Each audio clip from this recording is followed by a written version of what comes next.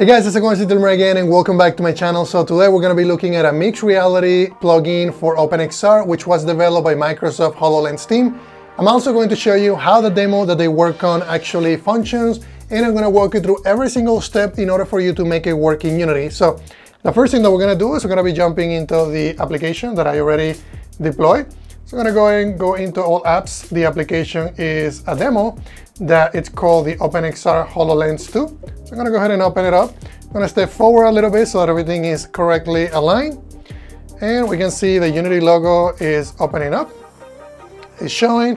And this is basically their demo. So if I look at my hands, you can see that my hands have cubes and everything is mapping to the joints.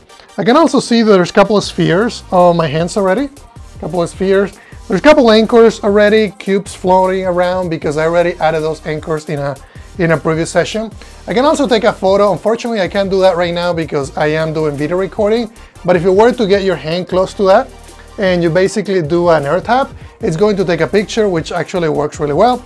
The other thing that I can also do is I can get close here and I can now basically toggle cylinders. So you guys can see the cylinders are, you know, it's like a bat, like a baseball bat and they are rotating correctly. So I'm gonna go ahead and just toggle that so it goes away. I can also toggle the hand joint cubes. You can see that now all I see is just the two spheres around my hands.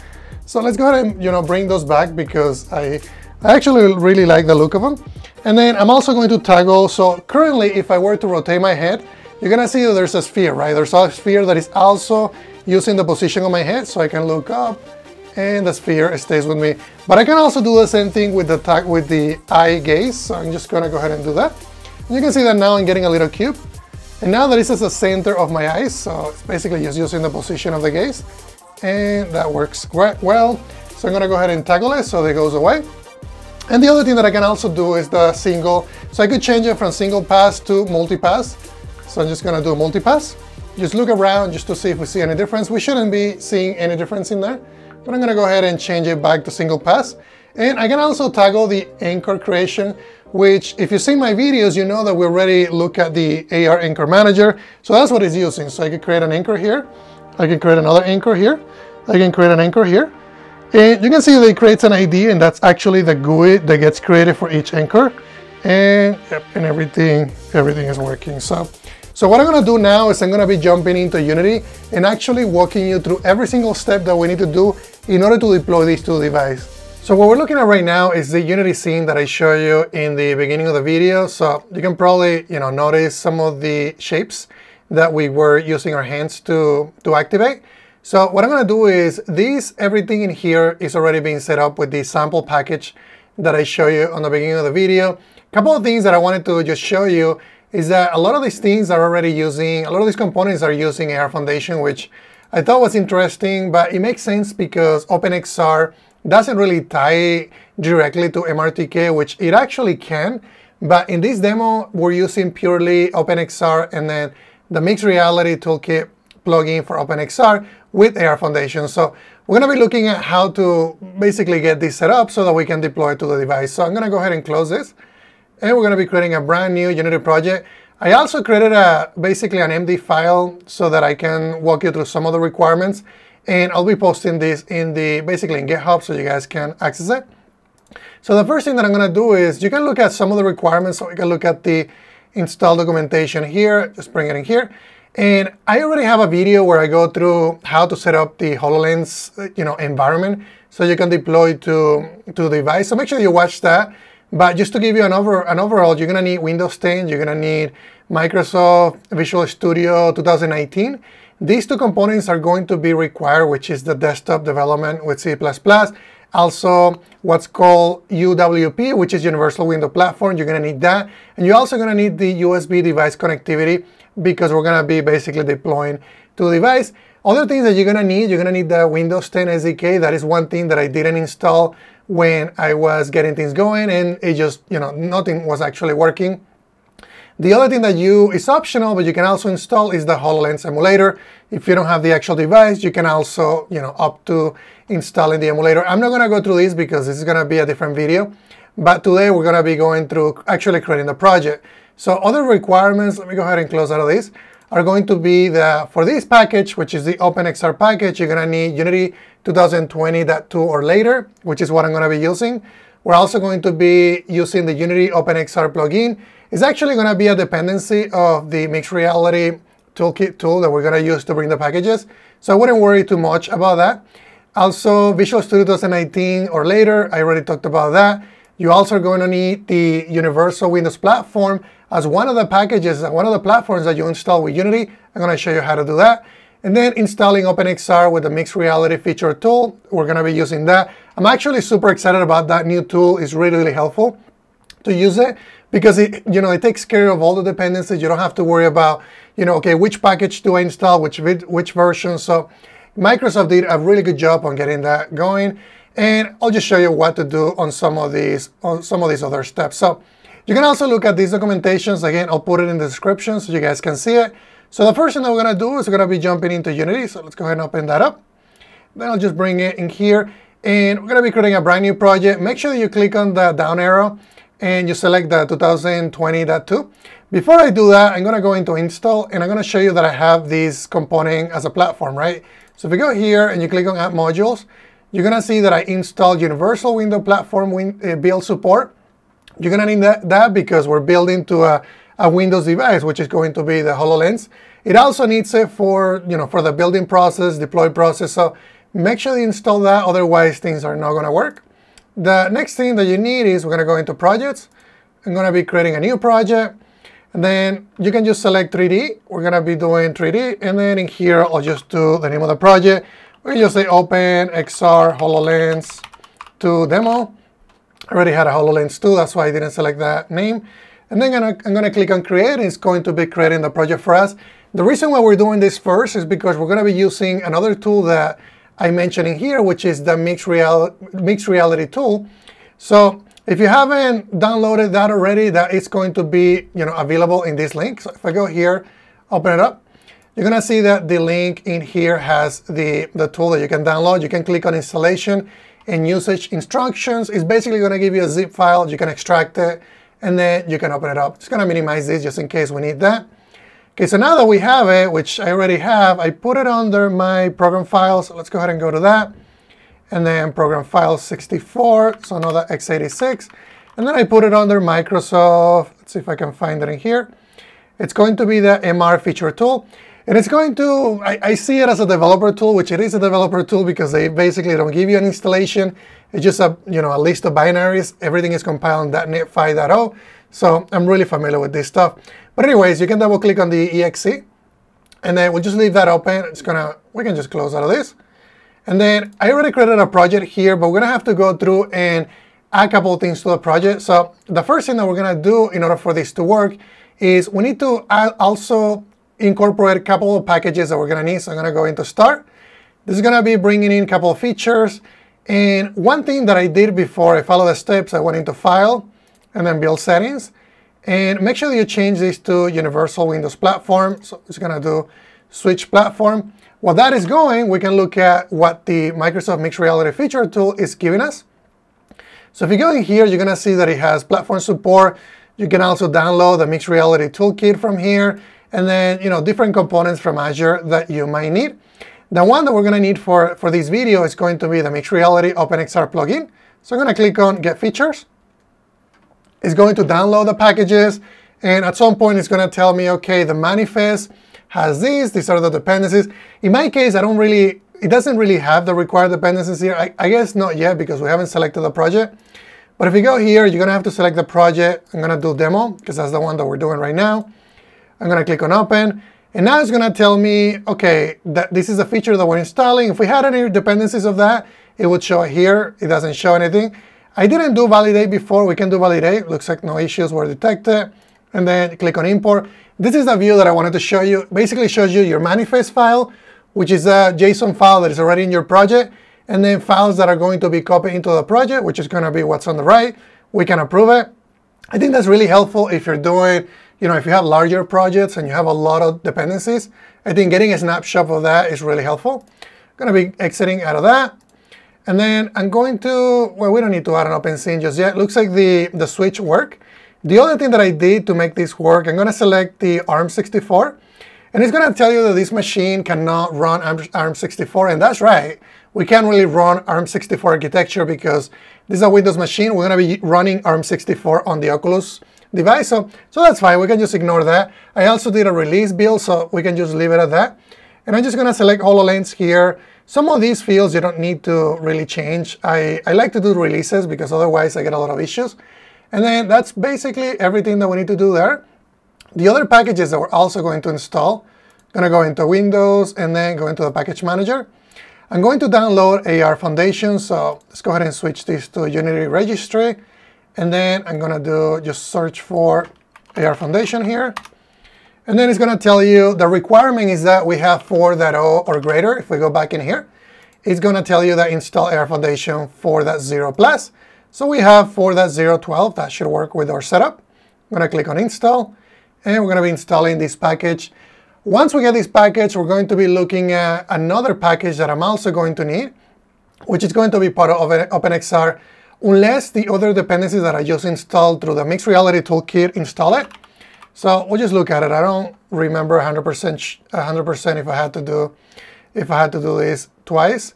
And Unity registry. Let's go ahead and take a look at the file and then go into build settings. And then I'm going to go into player settings. And one area that we're going to be, and looks like we do have to install the, the OpenXR plugin. So let's go ahead and do that. I'm going to go into package manager. And this is also going to show you the version. The version that it requires, if I go, we can go into the documentation here, is going to be 0.1.3 or later. It looks like we have, we're already on version 1, so we should be okay.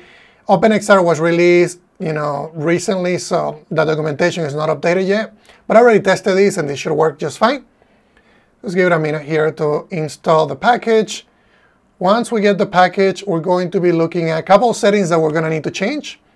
And also we'll need to restart this because it's going to be using the new input system, so it needs to restart Unity, so we'll just say yes. So it looks like that finished, everything restarted. So the other thing that I'm gonna do is I'm gonna close out of this. We don't need to have this open right now.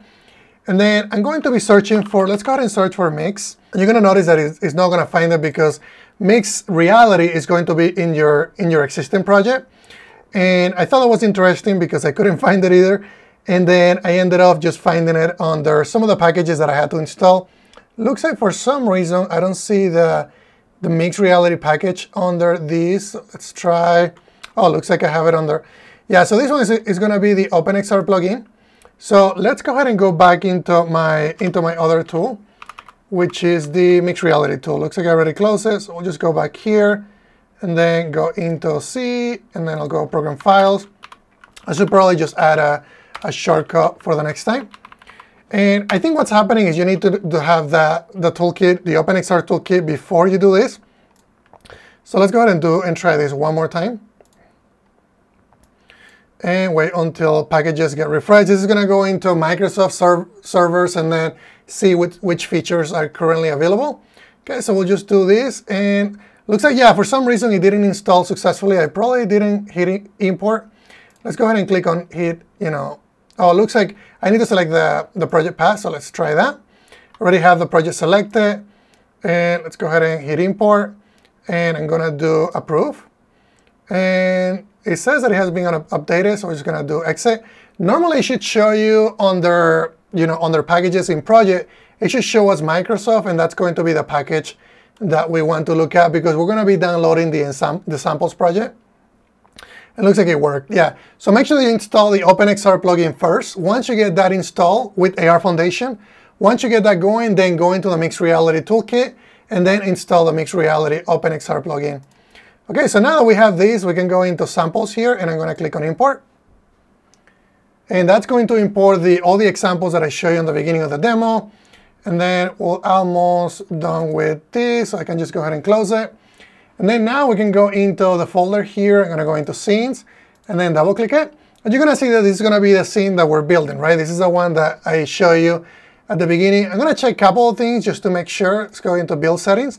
We're going to be clicking on add open scenes. And there's a couple of things that we're going to need that are new to Unity.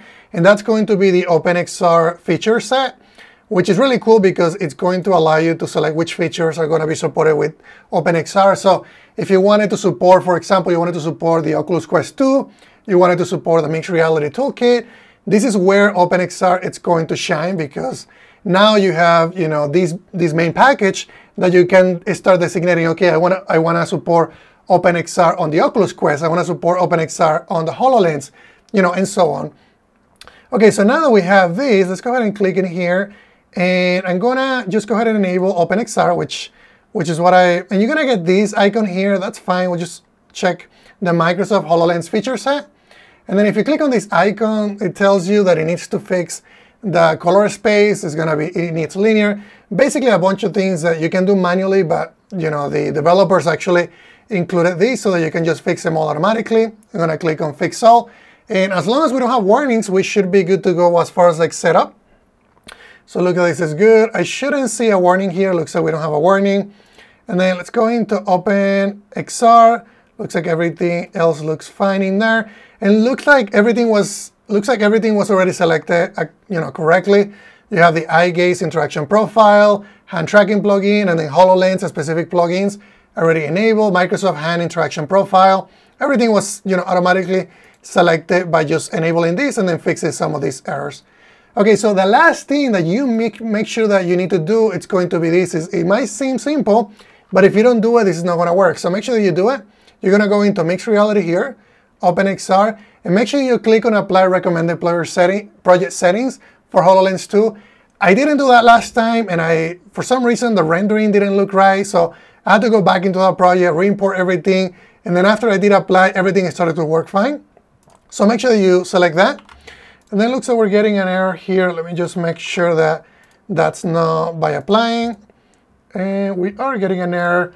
And let me see if I can, if we can fix that. Object reference not set to an instance of an object. Okay, so I'm just gonna go ahead and check a couple things in here. Let's go back into my build settings and go in here, OpenXR, make sure that I have everything selected. I'm also going to be going into Windows here and then selecting enabling and then enabling the mixed reality toolkit and then make sure that I have it. For some reason, something tells me that I have to have that set. Okay, so now let's close out of this and then clear this out. And let's go back in and then apply.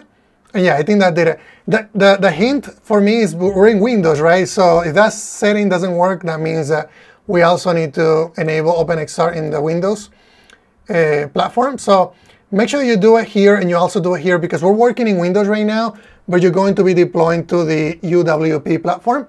So now that we have that, we should be able to build it and run it. I think everything in here looks right to me.